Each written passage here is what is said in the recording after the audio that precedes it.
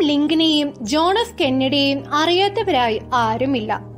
ചെറുപ്പത്തിൽ തന്നെ വധിക്കപ്പെട്ട അമേരിക്കൻ പ്രസിഡന്റുമാരായിരുന്നു എബ്രഹാം ലിങ്കണും എഫ് കെന്നഡിയും.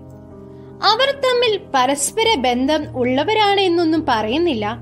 എന്നാൽ നിരവധി കാര്യങ്ങളിൽ സാമ്യങ്ങളുണ്ട്. എബ്രഹാം ലിങ്കൻ ആയിരത്തി എണ്ണൂറ്റി നാൽപ്പത്തി ആറിലാണ് കോൺഗ്രസിലേക്ക് തെരഞ്ഞെടുക്കപ്പെടുന്നത്. ജോൺ എഫ് കെന്നഡി ആകട്ടെ ആയിരത്തി തൊള്ളായിരത്തി നാൽപ്പത്തി ആറിൽ കോൺഗ്രസിലേക്ക് തെരഞ്ഞെടുക്കപ്പെട്ടു.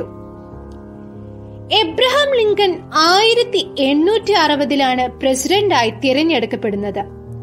ജോൺ എഫ് കെന്നഡി ആകട്ടെ ആയിരത്തി തൊള്ളായിരത്തി അറുപതിൽ പ്രസിഡന്റായി തിരഞ്ഞെടുക്കപ്പെട്ടു.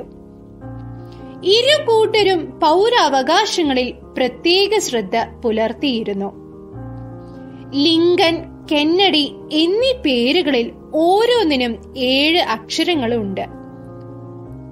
വൈറ്റ് ഹൌസിൽ താമസിക്കുന്നതിനിടെ ലിങ്കന്റെയും കെന്നഡിയുടെയും ഭാര്യമാർക്ക് ഒരു കുട്ടിയെ നഷ്ടപ്പെടുന്നുണ്ട്.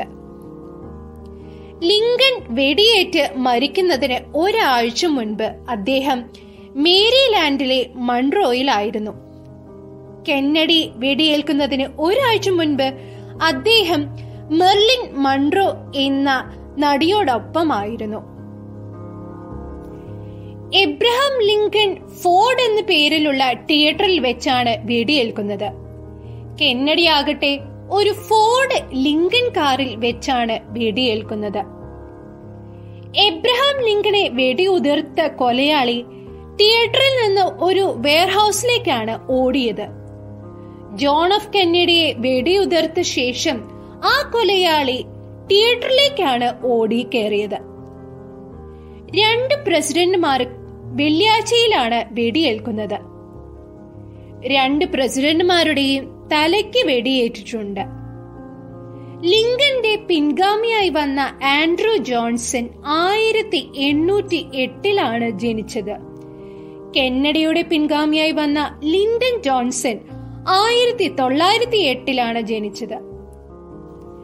ലിങ്കന്റെ കൊലയാളി ജോൺ വിൽസ് ബൂത്ത് ജനിച്ചത് ആയിരത്തി എണ്ണൂറ്റി മുപ്പത്തി ഒൻപതിലാണെങ്കിൽ കെന്നഡിയുടെ കൊലയാളി ലീ ഹാർവി ഓസ്വാൾ ജനിച്ചത് ആയിരത്തി തൊള്ളായിരത്തി മുപ്പത്തി ഒൻപതിലാണ് കൊലയാളികൾ രണ്ടുപേരും അവരുടെ വിചാരണയ്ക്ക് മുൻപ് തന്നെ വധിക്കപ്പെട്ടു. കാര്യം ജോൺ ഓഫ് കെന്നഡിയും എബ്രഹാം ലിങ്കനും തമ്മിൽ ഇത്രയൊക്കെ സാമ്യങ്ങൾ ഉണ്ടെങ്കിലും എല്ലാം തികച്ചും യാദൃച്ഛികം മാത്രം. ഈ വീഡിയോ നിങ്ങൾക്ക് ഇഷ്ടപ്പെട്ടാൽ ലൈക്ക് ചെയ്യുക ഷെയർ ചെയ്യുക ഈ ചാനൽ സബ്സ്ക്രൈബ് ചെയ്യുക.